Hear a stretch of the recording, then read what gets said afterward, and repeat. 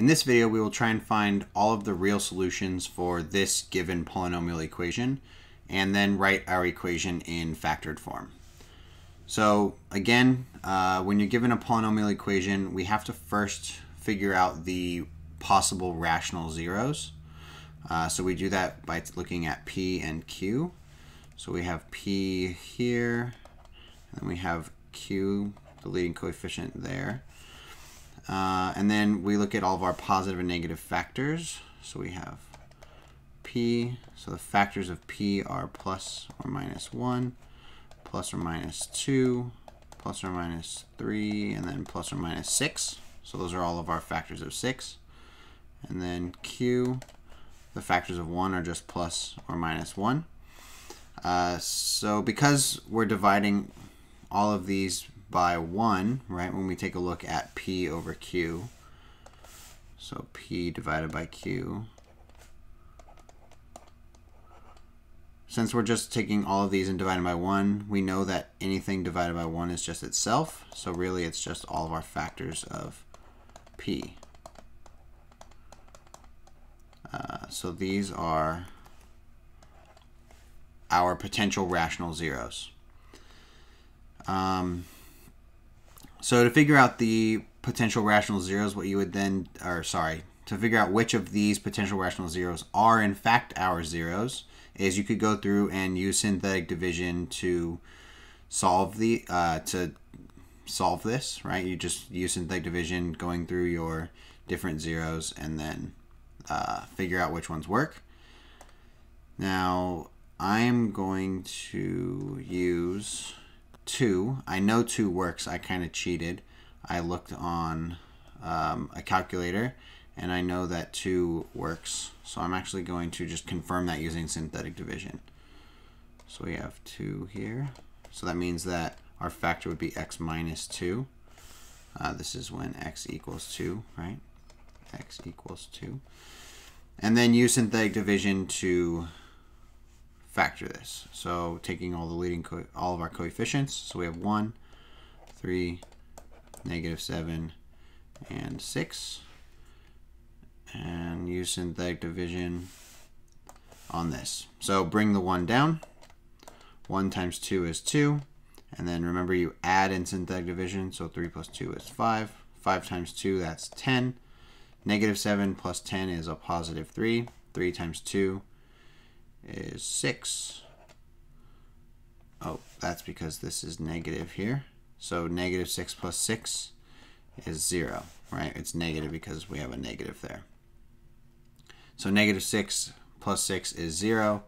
And voila, we have a, a factor. So if you recall, um, this was this was the coefficients of our cubic polynomial. So those were the cubic coefficients. This was the quadratic coefficient. This was the linear coefficient, and then that was just our constant.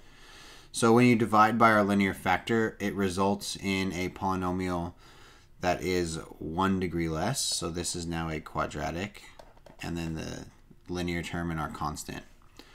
So if we look at the, so we found our first factor. Our first factor is x minus 2. So we're left with this depressed polynomial, x squared plus 5x plus 3. And then we can just try and factor this uh, to get the remaining zeros.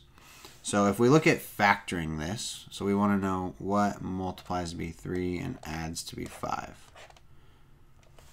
Well, if you think of the factors of 3, the factors of 3 are 1 and 3, and that's it and 1 plus 3 doesn't equal 5, so what would we do? Um, this doesn't work for factoring. Uh, eh, okay, so if we can't factor this, well, what can we use? What other methods can we use to solve a quadratic? So just because something's not factorable doesn't mean it doesn't have solutions. We have options. We can use the quadratic formula, which is what we're going to use for the, the rest of this problem. So we have x equals, and then we're going to plug it all into the quadratic formula. So it's the opposite of b, so negative 5 plus or minus uh, the square root of b squared, so that's 25, minus 4 times a times c, so 4 times 1 times 3, that's 12. Uh, all that's under the radical. All divided by 2 times a, which is just going to be 2.